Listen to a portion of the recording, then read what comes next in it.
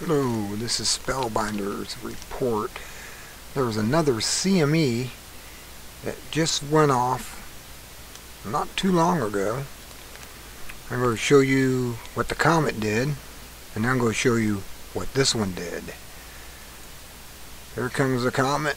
It comes in, it smacks right in, and kaboom! Okay. You get to see that one. Now this is what the new one's done. This is the new flare. It's just now happening. And it's double, if not triple, that last explosion. Amazing. This thing is just a super large explosion. I'll run it through one more time. That is just huge. And that was, I mean, that is just massive.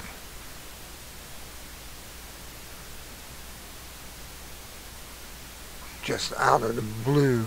Boom. And that one happened about, oh, um, tell you here in a second. Wasn't too long ago.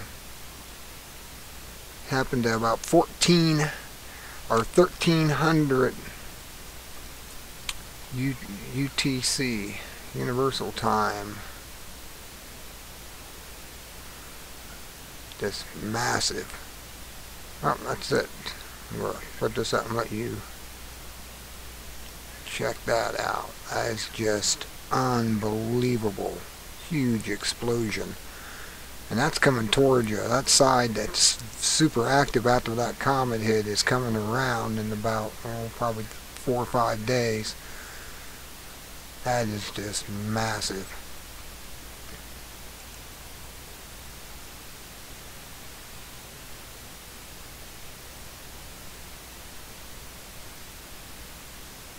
Oops. Scoot. I was using an older video while I'm pointing things out. And I'm getting ready to uh, step it. And the difference is pretty, pretty wild between these two explosions. It's getting ready, here it comes, comet comes in the picture, comet comes forward, pointing things out that were spotted in there. This is a video I did earlier. And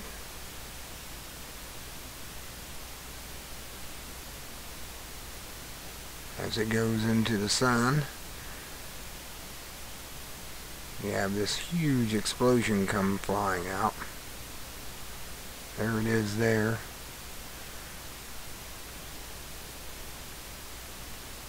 I mean, that's pretty spectacular. That one there from the comet impact.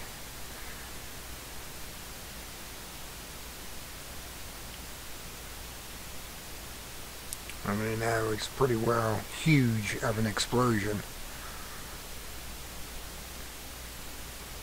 Then we have this one that's going on right now and it's and it's pretty tremendous too.